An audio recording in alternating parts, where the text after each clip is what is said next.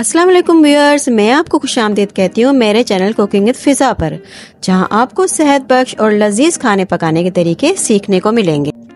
Viewers, आज मैं आपके साथ शेयर करने जा रही हूँ बहुत ही फ़ेमस और सबकी पसंदीदा रेसिपी शाशलिक जिसे बच्चे और बड़े दोनों बहुत शौक से खाते हैं और जिसे खाने के लिए हम रेस्टोरेंट का रुख करते हैं। तो चलिए रेसिपी बनाना स्टार्ट करते हैं।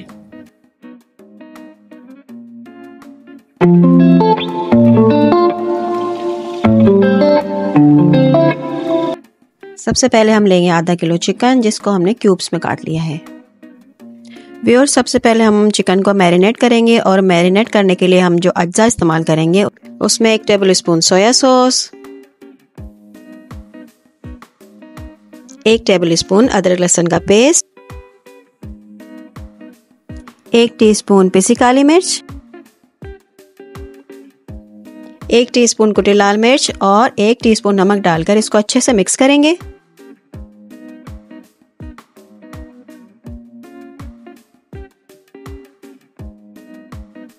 प्योर्स अब इसमें एक टेबल स्पून के करीब सिरका ऐड करेंगे और इसे 15 मिनट के लिए हम मैरिनेट करने के लिए रख देंगे। व्यूअर्स अब एक पैन में हम दो टेबल स्पून कुकिंग ऑयल डालेंगे। व्यूअर्स अब जो हमने चिकन मैरिनेट करके रखा था ना, वो इसमें हम शामिल करेंगे। अब चिकन को पाँच मिनट तक अच्छे से फ्राई करेंगे ताकि चिकन हमारा गल जाए और फ्राई भी हो जाए।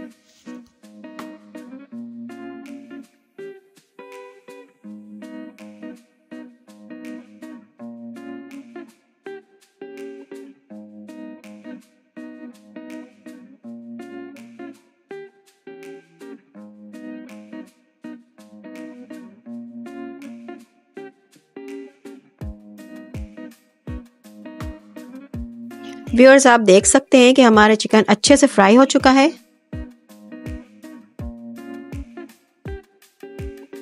अब इसमें दो अदर शिमला मिर्च क्यूब्स में काट कर शामिल करेंगे।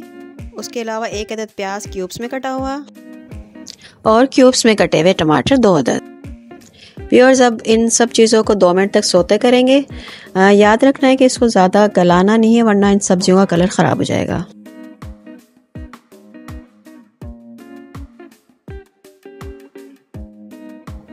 वेयर्स वेजीज और चिकन को जो हमने सोते किया था, इसको हम अब साइड पे निकाल के रख देंगे। व्यूअर्स अब बारी आती है हमारे दूसरे स्टेप की। उसके लिए हम पैन में लेंगे दो टेबल स्पून कुकिंग ऑयल अब उसमें हम एक टेबल स्पून चॉप लहसन गोल्डन करेंगे। जैसे हमारा लहसन गोल्डन हो जाएगा तो हम इसमें हाफ़ कप केचप शामिल करेंगे।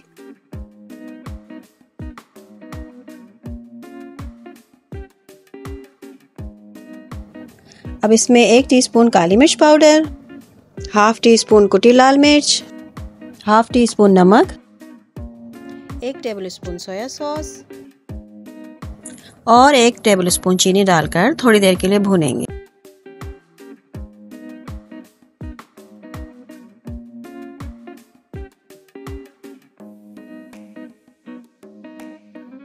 व्यूअर्स अब ग्रेवी बनाने के लिए हम इसमें आधा कप पानी ऐड करेंगे।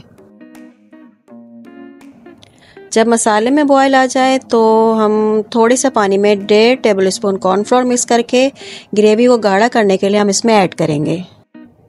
व्यूअर्स कॉर्नफ्लोर को हम थोड़ा थोड़ा करके मिक्स करेंगे ताकि गुठलियाँ ना बने।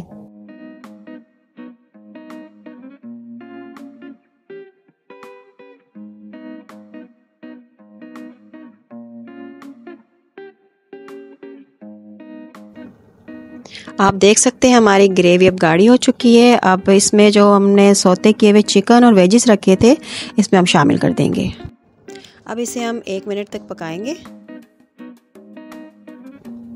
और लीजिए, हमारा शाशलिक बिल्कुल रेडी है। इसे हम एग फ्राइड राइस या प्लेन राइस के साथ भी इंजॉय कर सकते हैं। अगर आपको मेरी ये रेसिपी पसंद आई हो तो इसे लाइक कर दीजिएगा और मेरे चैनल को सब्सक्राइब भी कर दीजिएगा। अपना बहुत सारा ख्याल रखिएगा। अल्लाह हाफिज़।